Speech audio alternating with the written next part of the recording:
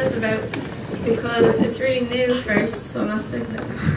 and um, it's called uh, Horrors of the Silent Masquerade, and um, I'm excited about it because I'm starting a project hopefully with my friend, um, uh, just to kind of help out the mental health scene. So hopefully people like this.